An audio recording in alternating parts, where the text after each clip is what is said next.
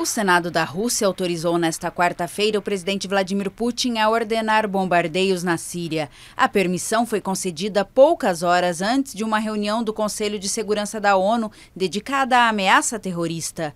Sergei Ivanov, chefe do gabinete presidencial, confirmou que o consentimento para o uso da força militar no exterior está relacionado com a guerra civil no país da Ásia Ocidental. Ele explicou ainda que a licença diz respeito apenas a bombardeios aéreos aéreos e excluiu o envio de tropas terrestres.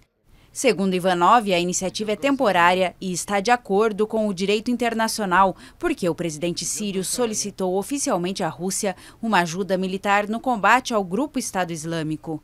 A última vez que o Senado russo concedeu ao presidente recorrer às Forças Armadas no exterior foi em março de 2014, antes do envio de tropas de elite do país para concretizar a anexação da península da Crimeia, pertencente à Ucrânia.